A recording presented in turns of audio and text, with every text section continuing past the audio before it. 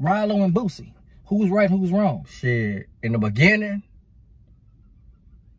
Ralo might have been right in the beginning. It's easy to tell.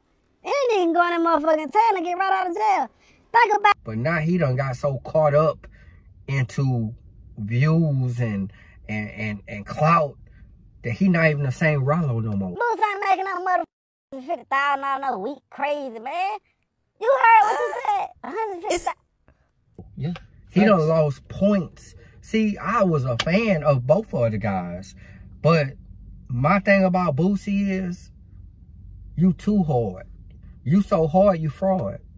I talked to Ralo. Like Ralo was my my partner, bro. Like I had a good respect for that dude, bro. Mm-hmm. Like He be home soon though. From what I heard from from what I read.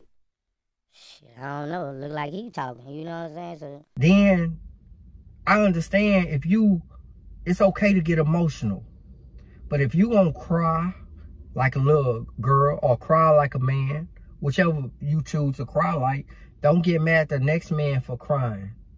Don't get mad at the next person for being emotional.